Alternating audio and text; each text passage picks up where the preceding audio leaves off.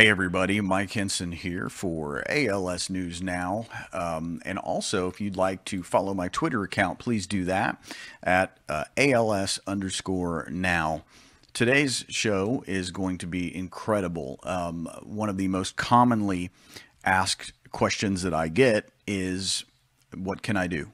Uh, if you are newly diagnosed with ALS, um, if you know somebody who's newly diagnosed, if you know uh, of somebody who knows of somebody, uh, you know, please tell them to subscribe to my channel because what we do here is a little different than most people. This is not a channel where we focus on uh, supplements or natural homeopathic remedies.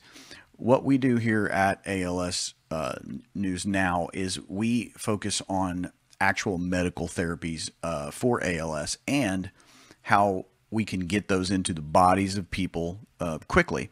Uh, also, be sure to subscribe to our uh, sister uh, Facebook group, which is the No More Excuses group on Facebook, where we lead a activist group that is working on currently trying to get um, a number of things done, including FDA approval uh, of a uh, product that is in phase three right now called NurOwn from Brainstorm Therapeutics. Uh, we're trying to get a, a couple of other therapies uh, pushed through as quickly as possible. Um, this is an interesting time in ALS because for the first time, there are three therapies which have now uh, proven themselves to either slow, stop, or reverse the effects of ALS progression for the first time in history. These are legitimate FDA uh, trial track drugs. Uh, one of them actually is going uh, through the process in Australia, but again through the through the legitimate means. Uh, these are not um, supplements or homeopathic remedies. These are real, actual. Uh, drugs that have been developed over the course of time, many of them for as much as a decade or more. Actually, all three of them uh, are coming up on 10 years now. Uh, the closest one to market is the NurOwn stem cell, uh, autologous stem cell procedure, which is currently in phase three and is about halfway finished, I would say, roughly. Um, but that's not fast enough. There's a lot of people out there right now who have ALS who are not going to make it if we do not provide answers to these questions of how we stop the disease. Uh, that's why today's guest is so interesting. Um, I'd like to introduce you in a moment to a man named Warren Osborn. Uh, Warren uh, is a businessman, uh, a venture capitalist. Um, he is uh, from the Utah area and has recently become very popular in the ALS community for what he has done. And, um, you know, I will say from the outset that most of us uh, will not be able to afford uh, what he has done. But I don't really look at that as a negative at this point because what he has done has you is essentially he has used himself as a guinea pig to prove and to develop new therapy deliveries and and modalities as he likes to call them for stem cell deliveries uh, into his own body. He has made himself into a guinea pig. Uh, yes, he can afford to do these things, and I'm I'm certainly glad that he can because what we've learned and what you're going to learn from his results today are pretty shocking. Um, although ALS, I'm not I'm not ready to use, nor is he, to use the term cured. What we have found is that, and what he has demonstrated is that through an aggressive therapeutic program of stem cell delivery, he is now a stronger person than he was before he had ALS. Now, that's an incredible statement, incredible statement. And I'm going to let you watch the interview here in a moment and decide for yourself. But Warren is highly credible. He is obviously highly intelligent, a man of, of means to be able to do these things, very aggressive, very much a problem solver. And I think you're going to be impressed. Um, you know, Warren has uh, gone to China and Mexico. Uh, he's investigated. Uh, you know, Korea. Uh, Warren is also fluent in Chinese, I might add, from doing business there. So he has a unique ability to uh, understand exactly what they're what they're really saying over there and, and speak directly to uh, the Chinese two Chinese um, uh, stem cell clinics, the Wu uh, Center and uh, I believe the other one is uh, Fu Hua, I believe. We're going to find out. Uh, sorry if I didn't say that right, but he's going to clarify that. Um, let me introduce you now to a very fascinating man named Warren Osborn. Warren, how are you today? Good to see you. Great, great to be with you today. Awesome. Uh, people know the story of your diagnosis, I think, uh, mostly. Um, but why don't we just touch on that just quickly? We're going to have a lot of new people watching for the first time who have, uh, you know, who, who want to experience and, and, and maybe look into some of the things that you've done. So I was diagnosed uh, May 10th of of 2018 last year, and in that diagnosis, I had been previously pre-diagnosed by a non-ALS specialist, and then I got to an ALS specialist up at the University of Utah ALS Clinic. And as everyone with ALS experiences, it was a traumatic, huge blow, just kind of knock you off your feet. Mm-hmm. Now, I had previously previous to that had self-diagnosed, but only given myself maybe a 40% chance of having ALS. And then on that date of the 10th of May 2018, we received the con confirmation that it was ALS. Even turned to the uh, doctor and said, Is there some chance, like maybe a 5 10% chance, that this is, you know, benign fasciculation syndrome or disorder or Lyme disease or something else? And he responded, Zero. Okay. ALS. I'm giving you a full on diagnosis. I yes. think he wanted to make sure that I received the message this is ALS and I got to address my affairs. That was the second diagnosis. The first one was a non ALS neurologist, and he wasn't as definitive. He was probable, like 60% chance. This was an ALS expert specialist, and he was 100% certain. I wasn't as certain. I was still holding out for a 5%, 10% chance it was Lyme disease or something else. But prior to that, I had self diagnosis noted earlier, several months earlier, as likely ALS or possibly ALS. I was doing a lot of research, and the brainstorm NurOwn clinical trials were screaming positive hope mm-hmm, in their phase were. two. Yes, they are. And uh, there are other trials going on in Israel and other places around the world that were showing a lot of hope where people were reversing symptoms. Now, as I you dig into it, it appears that most of those uh, short-term reversals and symptom improvements don't last a long time. I'm not aware of anybody publishing multi-year uh, claims with stem cells. Agreed. But they were at least showing short-term significant bumps and improvement. And in phase two, it looked like most of the, or all of the 36 people in the double blind control NurOwn study were showing improvement. So I was bullish on that and I wanted to get involved with that. I turned to my neurologist and I said, What do you think about stem cells? I'm really excited about them. I've been studying and reading them. And he turned to me and said, quote, there's not a shred of evidence that stem cells or any other alternative treatment works. Don't waste your precious time or money on stem cells or any alternative treatment. That was kind of a blow because I was there to try not just to get diagnosed, but to, find out what I could do to help myself and uh, to to improve the circumstances. I also asked him how long, um, you know, how long I would have to to live, and he he suggested that if I'm normal, basic basically 90% of people would live two to four years in total. And my most acute ALS symptoms have been going on for six months. So he said, if you're normal, you've got about a year and a half to three and a half years of life. So, of course, I was pretty blown away, but I was already biting at the bit, ready to go do stem cell treatments. Right. Uh, in fact, the day after uh, my diagnosis, I booked my flights, and within three days after, I was down in Florida at a stem cell clinic uh, doing uh, umbilical cord stem cells injected intrathecally. So okay. I jumped on it quickly before any more serious progression occurred. Seems like most everybody, Warren, frankly, that I know that gets ALS seems to be kind of uh, that type of person. They want to do something. They don't want to just sit around and wait. Uh, you jumped on this quick. It went well. They also included hyperbaric oxygen. I had four sessions of hyperbaric. The stem cells, uh, in hindsight, were a little too low in quantity. They wanted to do around three, three and a half million. I paid extra and pushed them up to doing five million. Contrast that with how many I'm doing now. I'm doing 50 to 70 million intrathecally per session now, but I was unaware of the scale at that time. Okay. Uh, so I only went there the one time, did the five hyperbaric oxygen, did intrathecal injection, came home. I, I can't say that I noticed any physical improvement other than maybe just a little bit better sense of overall health and wellness. Okay.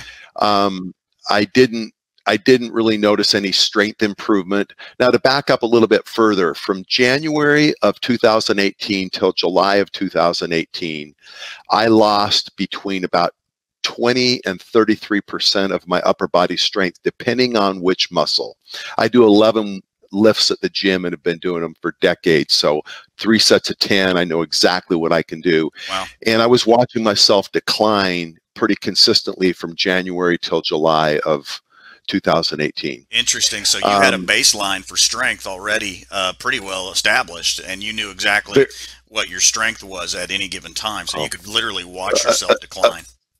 Established for more than a decade. Wow, that's Uh, a very consistent amount, and then doing all those lifts. And I track all those and report them to to you know Dr. Richard Bedlack, who's my neurologist, ALS neurologist now, Yeah, and I continue sure. to track all all that.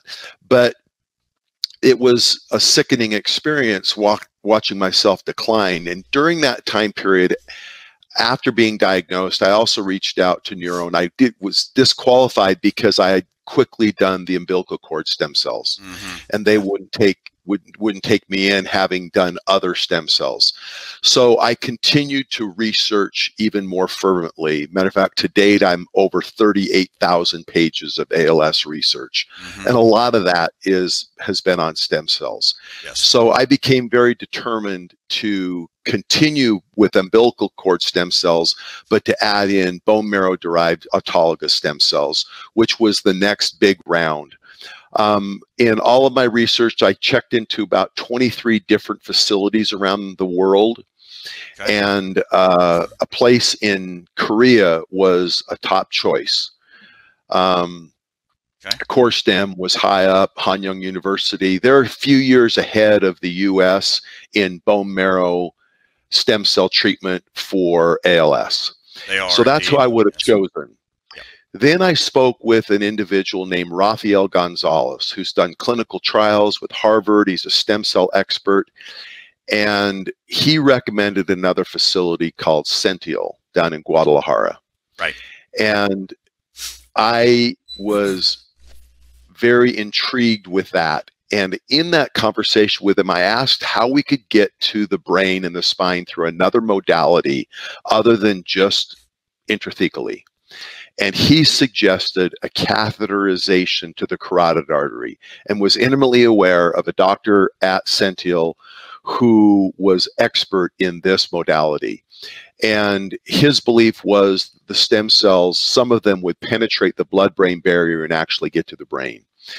That potential of hitting the brain and the spine with a one two punch instead of only intrathecally tipped me over to go to Sential instead of to CoreStem or other places around the world.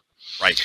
Uh, some of these other places around the world have more, I would say, mainstream science and trials behind them. Like in South Korea, they went through all the phases of clinical trials as proved by the government as a treatment for ALS. Right. Didn't have that in Guadalajara, but it was a very, very similar, if not the exact same process.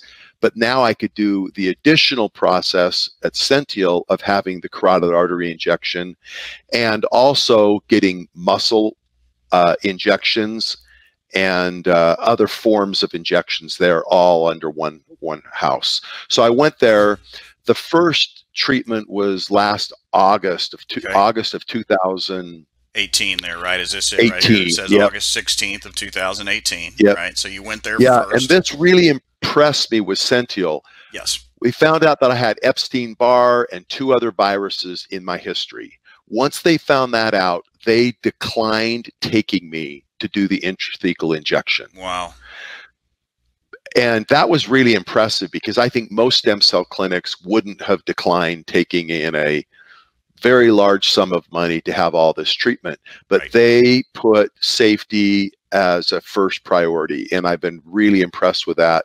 Been down there like eight, eight different times for treatments, and they wouldn't do the intrathecal injection. They thought if I had a virus in my bone marrow and that went in into my spine, I could get meningitis. It could be very, very dangerous. Yes. So they took my bone marrow, Okay. they extracted it, right. sent it to to three different labs, had all three labs verify there was no viruses in my bone marrow before they would do the intrathecal injection. Okay. Then I went back a month later and did the intrathecal injection. However, they were willing to do the carotid artery injection. okay. And you think about that, it, it's not really adding any risk. If that virus is in my system, it was already in my blood system. And so adding that to the carotid artery wouldn't expose uh, any more than I've already been exposed. Uh, so they did the, the catheterization to the carotid. Within Okay. about 30 to 45 days after doing my first treatment at Sentiel, I started to feel some strength improvement. Wow. And that strength improvement continued to grow over the next six months to where six to eight months later, I was lifting more at the gym, equal or more than I was before I got ALS. First of all, that's incredible. Yeah. Now, what what the audience doesn't know is that you and I had spoken once before uh, to do an interview for my documentary that is still in the works, but kind of got sidetracked with all the other stuff that's been going on lately. But uh, I'm kind of glad that happened, though, Warren, because I want to make it clear that you went through uh, a slight period where you felt a little bit more of a decline, right, recently. And so we'll get back to the Yes. Centennial here in a moment, but I'm glad we kind of waited to release the uh, you know the documentary interview with you because um, you kind of went down a little bit like you felt and then and then now you feel like you have been able to rectify that situation even is that accurate Yeah, that's that's pretty accurate. So I went from August of last year until mid Q1 of this year, improving every month with strength improvements and feeling even a lessening of, of cramps and fasciculations. okay But then I went for about two and a half to three months period of time this year where things started to get a little worse. right that's what you And- yes. fasciculations were getting worse, cramps were getting worse. Now, a lot of neurologists will tell you, and they've told me, you can't track ALS based upon fasciculations or cramps. There's too many environmental factors. Now, I personally believe it is an indication, but it's not verifiable Okay. because I will note this, and this is huge. If I overexert myself physically, like playing three hours of tennis instead of two hours of tennis, or work out really hard at the gym, or I don't get my sleep, or I get a lot of jet lag, or I fly on a plane for 20 hours. All of those things that induce fatigue and also heat, extreme heat does it. Any any form of that fatigue causes my symptoms to increase considerably. interesting Uh, so, but what was interesting is during this two and a half months period of time where I was kind of declining or increasing in fasciculations and cramps, I I didn't lose any any measurable strength. However, I noticed that it was more difficult for me to do the same lifts. I'm a very determined person, so I'm doing all these lifts at the gym, and I think yeah, I was just exerting everything Right. I had and using just more effort to the same lunging to get it done. Yeah. So I never tracked any measurable loss, but I could tell that it was much harder for me to do it, okay to do the lifts. So I only did two catheterizations to the carotid artery because I think there is some stroke risk by doing that procedure. Maybe one in a few thousand, but some risk. right I also did more homework on the doctor who performs this at Sentiel and found that there's he's never had a stroke from doing these and he's done thousands of them, never had any major incident from doing it. So I decided to repeat that procedure a month ago uh, or almost a month ago. And that was right after going to China and doing neuro stem cells in China, three Okay. treatments over a 12 week period of time. Okay. So I did that in China, came Okay. home for two days, did the catheterization and IV treatments at, at Sential. And then within about a week to 10 days after that, all of these more intense fasciculations of the prior three months declined considerably. And the cramps have gone down considerably. I'm talking about cramps being maybe 15 to 20% of what they were a month ago. Okay. Fasciculations are probably half as intense as what they were a month ago. Okay. So I think I think we have both going on. I think the stem cells are are helping, Okay. but we can't definitively point to which one of those treatments or both caused it. The last few weeks, I'm feeling like I'm I'm Maybe on an upward again. trend. Okay. upward Uh, trend. Yes. Okay, awesome. So, Warren, one of the things that you and I have talked about before is, and I believe that is unique about your approach, and that is sorely lacking from mo- from Western medicine and the way we do things here with the FDA is this so-called cocktail approach. You know that was used against HIV and AIDS. And I think one of the things that that you did that was kind of unique was is to bypass a lot of the trial time. Uh, you know, can you imagine how long it would have taken to get a trial done for uh intro, you know for a for a uh, catheterization procedure to deliver stem cells? It would have been a decade possibly. So but you you know your ability to do these things you know uh, concurrently and to have the resources to be able to do these it's interesting. And i think that's probably why frankly you're having so much success do you want to talk a little bit about the you know this cocktail effect that you believe that that is working to Yeah. control your als Yeah, well, there are many different types of stem cells, and uh, each of the clinical trials that are out there are doing one type of stem cell at a time. that's right And I'm not aware of any stem cell expert who actually believes that stem cells are going to cure ALS.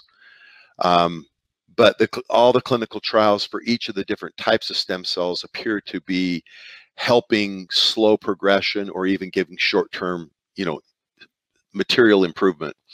So I've done uh, bone marrow derived stem cells, umbilical cord stem cells, and neural stem cells, which really come from fetus neuro tissue. Right.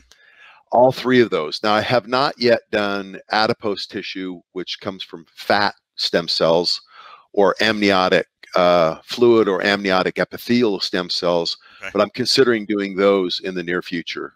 okay all right Um, but the theory is each each type of different stem cell will do different types of repair properties, and all these different stem cells are a little bit unique in their in the way that they heal, reduce inflammation, encourage other cells in the body to heal. So my theory is that there's a higher chance of actually healing the whole problem by using multiple types of stem cells than just using one. But to get that through the FDA is currently an impossibility because they only allow one thing at a time. And I That's right. respect the double blind, single controlled methodology and science to try to figure out what item it is that's doing it. But I don't have the time to wait with having ALS with two to four years of total life expectancy to try one thing at a time. So I'm doing all of these simultaneously with taking 90 supplement doses per day, simultaneously with doing dozens of other detoxing, uh, hyperbaric oxygen, and all other Right. types of, of treatments. And I'm doing them all at the same time. So it's impossible to actually claim that any one thing was solely responsible. But I'm i a, agree if I had to bet my life on either taking umbilical cord stem cells or bone marrow derived stem cells or mixing them, I would absolutely take the, the approach of mixing them. I'd rather have three different mechanics working on my car that each had a different specialty than Sure. one specialist. Right. And so that's kind of my theory. So I'm, I'm actually going to even do more. I'm going to repeat the neurostem cells in China. Okay. I went to the Wu Medical Center the first time. I'm likely going to go to Puhua Medical Center the next time, Okay. and and I may be doing uh, human amniotic epithelial stem cells in the near future as well. Okay. Um, and that's one thing I want to make clear for, for our viewers here is that also um, Warren has, uh, I believe, his full regimen online. And like you just said, he doesn't do just stem cells. He has an entire list of uh, supplements and that kind of thing that he does. And, and one thing I will say is that, uh, you know, if we look at this on a little deeper level, you know, many people are taking supplements. Um, and the supplements alone don't seem to uh, be producing results, Warren, like you said. Uh, yet the NurOwn procedure does seem to be producing results. So I'm with you. I think if I had to uh, look at this logically, what one could say would be maybe that these supplements are helping you, but it's it's not enough to get the body over the hump, so to speak, to, to being healed. I- um, I You would know. definitely agree. I, I actually don't believe there's any supplement known, and I've I was up to a point where I was actually taking 68 supplements twice a day at the peak. I remember. I've already retired over 102 supplements that I used to take Okay. that I no longer take. okay. But I think the supplements help set the stage for overall homeostasis, overall health. Okay. But I don't think they are responsible for symptom reversal with ALS. First of all, most of those don't even penetrate the central nervous system Absolutely. and True. get into the Yes. brain. That's right. But but because the cocktail approach of supplementation with detoxing, with stem cells, with all the other treatments that I'm doing, which I have, you know, published it online multiple times. Yes, and I'll put a link to that to While make sure. doing You it know, all as a cocktail approach, I experienced strength improvement and am stronger now than I was when I got ALS. I don't want to stop it entirely, so I still take, you know, 46 supplements twice a day. right. Don't stop if it's- And- if it's working. Uh, now, is your uh, and we'll put the link up, of course, when you when you provide that. But have you updated your? Because that's that's the question everybody's asking right now. I can hear him screaming in my earphones. Where is his entire protocol at? And of course, we, we do have your stem cell protocol, and with your permission, you know, we'll we'll we'll post that. But you know, uh, do you have your mo- your updated supplement protocol somewhere as well Yeah. right now? Yeah, I'll I'll give you after Okay. our discussion a link to that whole thing so you can include it Okay. along with this video Okay. post. Okay, perfect. So the other thing we haven't talked much about is modality, where you inject the stem cells. Okay, So I each time I do treatment at Sential, I do IV umbilical cord stem cells, and this Okay. is in high quantity, like 100 to 150 million. Okay. Muscle injections, and I typically will inject those into muscles that have atrophied. Like my left tricep is like 50, 60% wasted right. away. It's been your So it's been your trouble frequently. spot, right? Your worst one. Your your worst. my worst spot. Yeah. Both triceps are are down, but the left is way worse. Okay. Um, I've also injected it into joints, but that's more for arthritic pain than Okay. it is for ALS. Okay. But everyone ought to know I have put them in the joints. Okay. Uh, then the catheterization to the carotid, uh, intrathecal, also called lumbar puncture. And then I also did nasal cavity injections. I don't know if I'm going to do those again. That sounds that sounds bad. Was that was it that? was painful. I even got a really bad bloody nose from one of them. Mm, But the hypothesis was maybe some of those cord, umbilical cord stem cells could pass through the blood brain barrier. Right. And so I did some there. Uh, so six different modalities, three different types of stem cells, all in a, a collection. okay. Uh, and uh, I I don't really think there's anything other than the joint stem cells, the nasal cavity stem cells that I won't likely continue to do Okay, because so you're it- out on the you're out on well. those two. The the the direct injection, the uh, stems. You're not going to do the nasal cavity and the joint injections anymore because there's no well, reason I won't do the joint for ALS. I may do the joint Okay. for arthritic pain again. I see. Gotcha. So the, the the data shows people seem to have improvement with joint pain for about a year. The anti-inflammatory effects of umbilical okay. cord stem cells seem to last about a year. Okay. And the truth is, I'm starting to get a little bit more arthritic pain when I'm doing my workouts at the gym right now. Okay. The last few months, so I may I may do that again. But I just want ALS patients. I don't want them to misunderstand my my motive for doing those isn't to cure ALS it is to get rid of the pain in the joints. I gotcha. Okay. Well, I'll tell you what. Let's take a look just one one real quick at this document that you gave us. Let's just let's let's just do a quick summary of this real quick. Uh, the locations, because that's what again everybody's we want to condense this down. Sure. Centeal is in Guadalajara, Mexico. Uh, Wu Medical Center is in Beijing. Puhua is your is the one that you've recently looked at. Have you had a treatment in Puhua yet, or is that the one you were considering? No, I was considering it. I okay. toured Puhua. I was very impressed with their facilities. Their facilities okay. look like a high-end, high-tech, modern U.S. hospital. Okay. The other thing I like about Puhua is they claim to extract the neurostem cells themselves. Okay. And I believe that fresh stem cells are superior to stem cells that have been grown in a petri dish over many months to years. Gotcha. Uh, there are growth factor cells and other types of cells that exist in stem, in with the stem cell, you know, solution, so to speak. And I like the idea of them extracting their own. That also eliminates one other variable from the supply chain. Okay.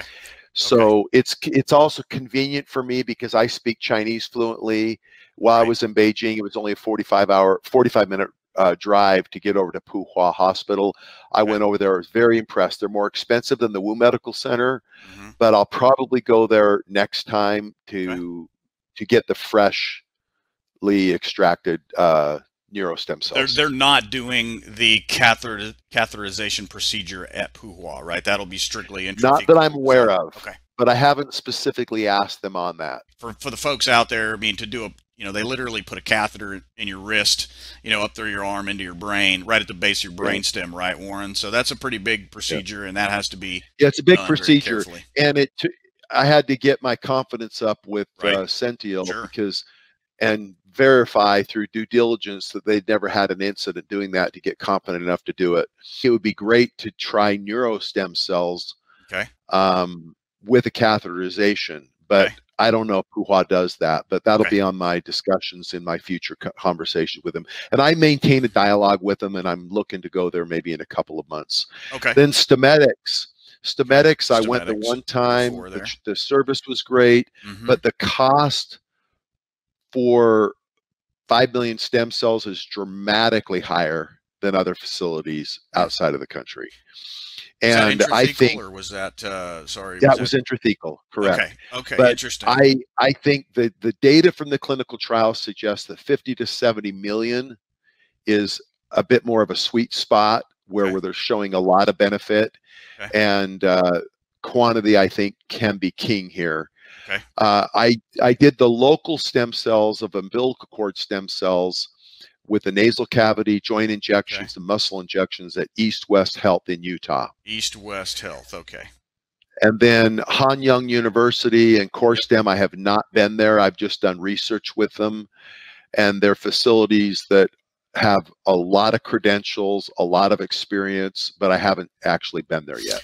A lot of Americans now uh, seem to be choosing Korea. Um, uh, you know, several people have gone over, um, and we don't have the data, unfortunately, yet. I haven't found anybody who's had your, your level of success or even a Matt Bellina yet, frankly, uh, from CoreStem or NeuralStem or Neuronata, if you will. Uh, and so um, we're not sure on those yet. And we're open to everything. I want to be clear. You know, this is a terminal illness, and you know that's why we're doing this. Why we're talking about this today is because you know we have to have some sort of options. You know, you know, personally for me, I'll be clear. You know, uh, I I would take the NurOwn product in a second if I could, but you know, obviously, Warren, that's not an option yet. If I could do NurOwn, the brainstorm, I would do it. Yes. And but I was declined from the trial. I'm on a wait list for their hospital program. I understand. Uh, hopefully, in the future, they'll have a expanded access program, and we'll be able to do that. If I could, I would. Right. Uh, their trial is experiences stronger results as, as anybody. But oh, there's really also strong, very strong phase one trial that just came out just in the last couple months with neurostem cells in the US. So we're probably eight to 10 years away from from seeing that through phase two and phase three. But Okay. the the early results of the phase one of, of the neurostem cells in the US were very, very strong and compelling. And that helped put me over the over the fence to go go do them in China. Explain just really quickly that what when you say neurocells, what what do you mean? Neural cells, what do you mean there? You're talking about They're literally they're literally taking fetuses who have passed that have passed away Right. and using brain and and spinal tissue to derive the stem cells. Now, that from a moral standpoint was a big issue for me, which Understood. is why it took me 9 months before I went and did it. I needed to be confident there was no financial incentive for anybody to abort a child. I'm Great. confident that there is none. Okay. There, there's a huge number, like 13 million abortions in China a year, and um, but there's not a financial incentive from the due diligence I've done to encourage anybody to abort a child. But once the child is aborted or lost naturally, then they're taking those the stem cells from there and extracting those and that's the same thing they're doing in the clinical trial in the US I understand Okay. but I'm ab- adamantly against a financial incentive me too. to encourage a Encourage. it. possible ex- termination or an abortion No question. adamantly oh. against that Oh, they're the most potent by far. I very much agree. And think of this the stem cells and cells at the time that a brain is growing are likely designed to grow neurotissue, Right. brain tissue. Stem cells in 54 year old like me mm-hmm. are likely designed and there to repair damage in the body because the brain's already formed. Exactly. So I think the theory, and this is all theory, stem cell expert, I think, don't even understand more than 2% of all the workings of all these stem cells. Agreed. It's definitely a new, a new science. But the theory is those stem cells are growing and enhancing brain tissue development at that phase. Maybe they could grow and repair. But that's very theoretical. Almost all of this is theoretical. I'm putting up this little slide here that just briefly talks about the types of stem cells again. So we have bone marrow uh, derived, which are the autologous cells that NurOwn is using, and and where you've had done uh, a hip aspiration in in uh, Mexico, uh, and China, I believe, is using that as well, right? So then you have Yep. the adipose tissue, which are the fat uh, stem cells, which uh, you know are less common for ALS treatment. Uh, the umbilical, which are which are common uh, in in Mexico, right? That's that's done at, at, at in Guadalajara uh, Yeah. via via intravenous, I believe. Is that right? And then you have the amniotic. Yep. Uh, and then Correct. human, epithelial uh, amniotic uh, from the uh, from the fetal sac, I guess. Correct. And then the neural, Correct. which is kind of the more controversial ones. You know, I've had uh, three. The ones in blue, I've treated with it. The one Oh, in okay, yellow. I'm likely going to treat in the near future. Okay. So the amniotic epithelial from the amniotic sac, I'm likely going to do treatment with that in the near future. There's really promising, Okay. strong results. Uh, they haven't been through all the you know phases of clinical trials yet, Okay. but the preliminary data looks really, really strong. But I have done the ones in blue: bone Okay, marrow, in blue. umbilical cord, Mhm. and neuro stem cells. I have not done blood-based ones, although I'm researching and looking at that, Okay. and I have not done amniotic fluid stem cells yet. Okay. And then when we say modalities, what you mean by that is the type of delivery systems, more or less. Uh, Correct. So uh, the, the the six that, that you know that exist more or less, you have intravenous, of course, uh, muscle injection, which is directly in the uh, into the muscle, which you do correctly point out is not not really the root cause of ALS because we know that happens in the brain and the spinal cord primarily. Yeah. Uh, joint, uh, not really the root of ALS again, but especially number four and number five there, the catheterization to the carotid artery to get those cells right into the base of the brain. So you're basically almost flushing the brain with uh, with healthy stem cells uh, in order to try to uh, knock out some of that neuroinflammation. And then the last one, of course, uh, which is the foundation of the NurOwn trial is of course the intrathecal lumbar puncture. Exactly. So, when you look at those those two where do motor neurons exist? Upper motor neurons are at the top of the brain. Lower motor neurons at the bottom of the brain and go down the spine. So you got to get the stem cells or the drug or the treatment to the place that the neurons are dying that's exactly and right. that's why those two are first and foremost. The catheterization procedure is something that that you developed with uh what who was it Dr. was it Dr. Espinoza in Mexico is that, is Ra- that Rafael Gonzalez Gonzalez I'm sorry.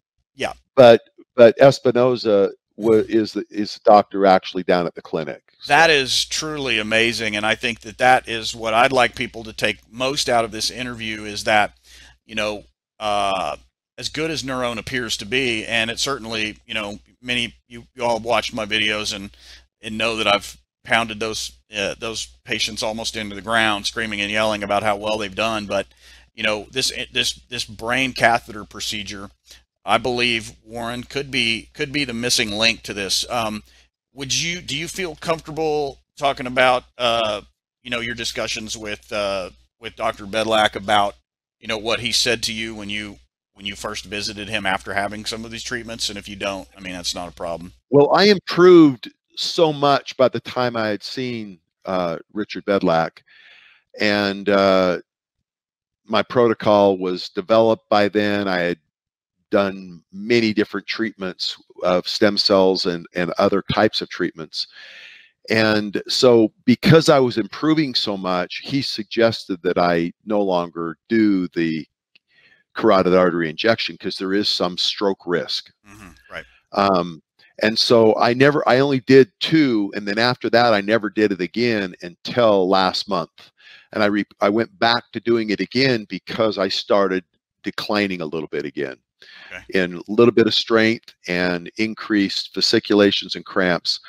Um, and so I did it again. I'll probably wait a while again before I do it again, but I think I, I don't have full confidence that stem cells are going to cure ALS single-handedly, but I believe that they may be able to maintain it with enough treatments and enough variety of stem cells in enough modalities for Agreed. injection location to potentially maintain and keep progression from occurring. Okay. So I will likely continue with it, but not super frequent. I but I will do the lumbar puncture intrathecal injections um, probably every 60 to 75 days okay. ongoing. Okay, so Warren, one of the other interesting things is that eh, this is a little more off the topic of stem cells, but needless to say, with the recent kind of success that uh, the Biogen trial had with the SOD1 gene, you know, you and I have believed strongly in a genetic component for ALS for quite some time. Tell us a little bit about this interesting document where you had a complete genome mapping, right, at from someplace in Europe, and they found a a malfunction or a mutation in something called the TRIP4 gene. Is that right? Tell us a little bit about yeah, that. Yeah. So what happened was uh, around September, October of, of 2018, I had my full genome map with New Amsterdam Genomics. Okay. They did a really great job. Uh, the CEO and my doctor, my functional medicine doctor, and I had a conversation. I saw on there that I had a TRIP4, TRIP4 uh, genetic mutation or or problem with that gene and it has historically been associated with spinal muscular atrophy. And since I have atrophy and I have some spine issues, which are very common with ALS, that stood out to me. I saw that in the report. So right. during the conversation with the CEO of New Amsterdam Genomics, I asked him about that gene. And at that point in time, it had not been connected or associated with ALS. Well, he went and did a bunch more research on it and December 16th of last year, it was finally connected and associated with ALS. Wow. So I have, that's amazing. I have a, a, a, gene that is now officially a, you know, okay. Uh, a mutant related and connected with ALS. Right. similar to uh, how the SOD1 uh, functions. And one of the things that was interesting was, you know, I'm sure you've heard about the recent success with Zolgensma, the SMA drug, and that they actually came up with a curative uh, compound for that. Zolgensma is curative. Uh, that they were putting into babies, you know, and uh, which I think is fantastic. And then on top of that, you add the, the Biogen news that uh, uh, Tofersen seems to be. Uh, people have seen the video of the gentleman dancing around, you know, on at, in his front yard and, on this porch, who has the SOD1 gene. So I think what we're learning, Warren, is that you know ALS maybe as you believed as much as 80%, I think was the number you might have given me, could, you know, could possibly be cured with gene therapy. It's just identifying those. I think both are contributors in most ALS patients. Okay. Um, I don't think they have found even a small fraction of the genes that are defective. Okay. Uh, they found many, you know, a dozen plus, but right. I think there are many, many others. And, you know, mine is a brand new one, just barely found just a few months ago. hmm And uh, so I would guess that genetics are likely involved in a majority of cases, but environmental factors clearly are triggering it, exacerbating it, or enhancing the onset. Yeah, if it was definitely. only genetic, why then maybe ALS would be manifesting in small children, but it doesn't. It waits until there's enough wear and tear or age or environmental pollutants or Agreed. other contaminants to, I think to trigger and start it. So just like the BMAA neurotoxin that's in blue green algae, that is not 100% proven, but probably 99% proven to be one of the many triggers that enhance it. So I think we all have a different level of genetic weakness. I agree. Just like every bridge in the world is a little different. They might have a similar design, but every bridge is its own fundamental physical properties. And every one of those bridges carries different cargo, is exposed to different rust, different Right. different strains and stressors.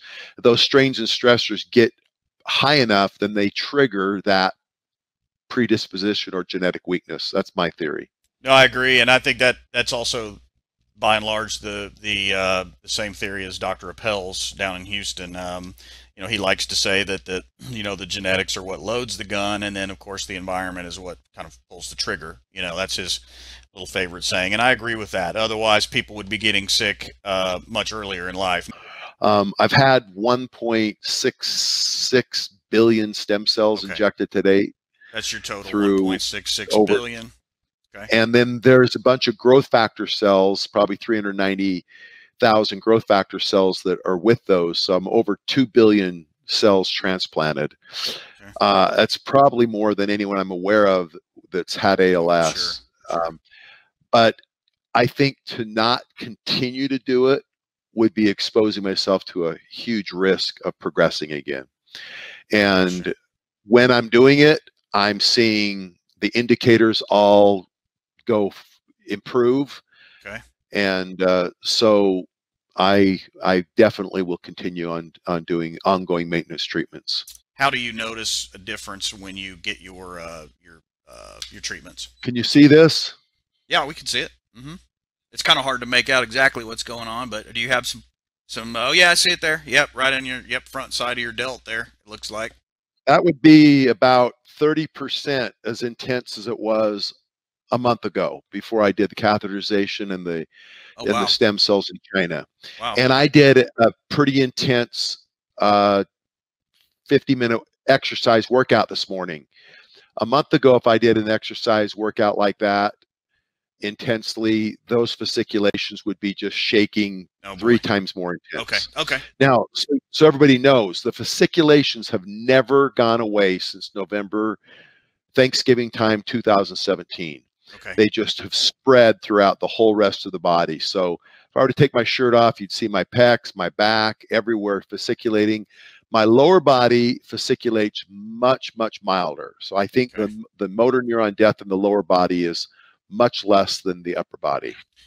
So okay, well that's uh, this is all great information, and you're going to continue doing the stem cells and doing the research for everybody out there. But uh, I, I, would like to to get with you, and we'll post uh, the relevant documents for people that uh, that you're willing to share uh, at the link uh, below here in the in the description, so that you guys can go in there and look at exactly what Warren's latest protocol is, and and then make your own you know decisions on how you want to proceed. but I want to say thanks again for everything, and you know uh, do you want me to post your Facebook address as well, and so people can contact you? Are you okay with that, or would you? That's fine. Sure, okay. that's fine. Okay, awesome. All right. Thank well, you. Thank you so much, and we'll uh, we'll see you soon.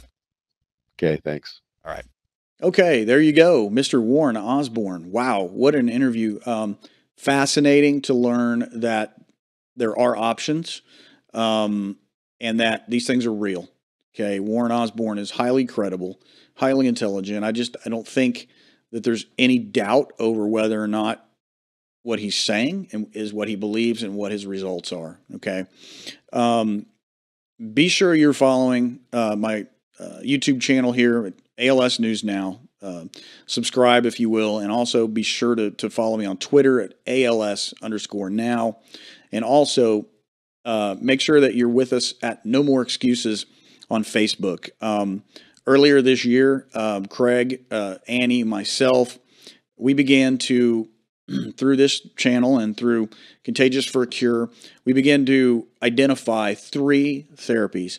Um, one of those therapies um, is Dr. Appel's T-Reg procedure uh, down in Houston. The other is a copper compound named CUATSM.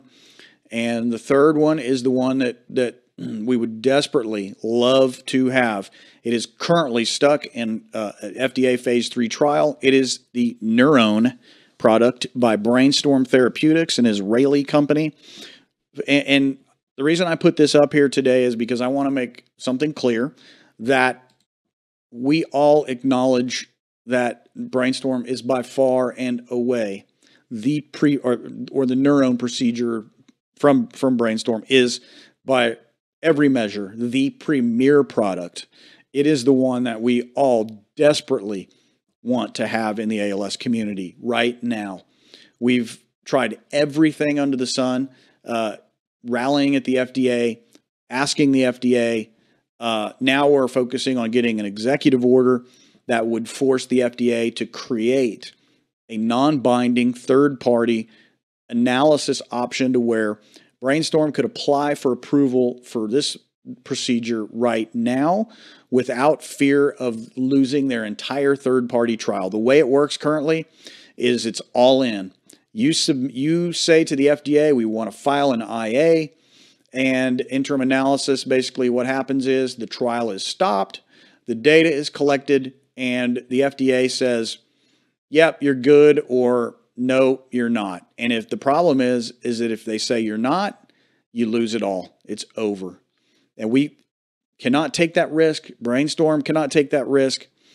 So what we need is the president of the United States to come in and to order the FDA to create this third party non-binding uh, analysis option. And if if we do that, I believe we're going to find that the company would be willing to apply because there would be no risk. There'd be no point in doing it, uh, or not in doing it now. Okay. Um, and so you've seen the results from Warren. Many of you might be watching this video for the first time. Uh, and I just want to give you just a quick bit of background. Um, Matt Bellina received the NurOwn product under Right to Try, uh, you know, back in 2016, I believe. This video will kind of say it all if you'll notice what's happening here is this is Matt Bellina. Matt was next to the president at the signing of the right to try law in a wheelchair. Okay, now this is with heavy heavy amounts of assistance, but needless to say, this is stunning. Uh, this is Matt after uh, receiving the full dose of NurOwn, three injections of the product, as per the trial. Now he was not in the trial; he was under right to try. Uh, the only person that got it uh, thank God he did because these are the results it's producing. I want you to see this uh, fascinating result here at the end. This is him doing um, kind of squats on this machine, and th- this is unbelievable, folks. Absolutely incredible. And then we go back to the very first part of the video, uh, before and after, side by side. This is Matt earlier on in the process. He had to use his arms to pull himself up. On the right side of the video, he is now standing up, unassisted. I mean, this is, this, folks. This is this is this is why we want NurOwn. This is why we must have it, and this is why I wish we could put, uh, frankly, politics aside and all this nonsense and just go for broke and ask the president to help us. We need his help. Now, um, let's go back into these stem cell therapies just for a moment. Um, this is the NurOwn product again. Just just quickly, this is our problem. The reason why people are going to China and going to Mexico right now is because they don't have any choice. They do not have a choice. It's either go or die. And as you can see here in 2017 through 2019, the phase three trial for NurOwn is, is underway currently. However, it is very far behind, sadly. Um, and that is strictly as a result of um, the, the trial design, the way it was designed, the, what the FDA required. Uh, 14 trips to Boston for a, or, or California or any one of these sites uh, I believe there's six trial sites nationwide, self-funded 100% of the way. You got, or not, not quite 100%. There's a small, very small stipend, but you know the average trialee is going to pay for 14 airplane tickets, um, and you know 100 of these people, sadly, tragically, are going to receive placebo and be watched uh, as they die. Um, so many people have said, well, I really don't want to get in the trial, so you know what I'm going to do? Uh, I'm going to take my chances and, go to Mexico, or I'm going to go to Korea, or I'm going to go to uh, China. And they are going. Trust me, they are. Um, you know, and and some people are having results. You know, you just saw a, great example of a guy who did have some good results. Um, I'd like to show you now just a, a couple of things that Warren sent.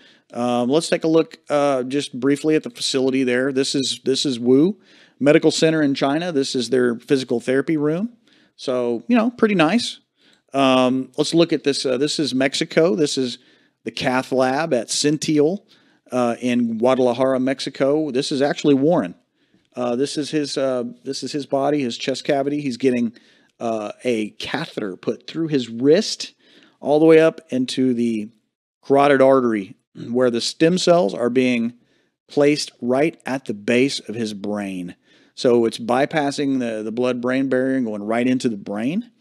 Uh, revolutionary technique that he and his doctor designed together, and I, I, I love it. I think it's aggressive, it's bold, and uh, you know what we're going to do here is continue to show you options, to give you options to treat your ALS.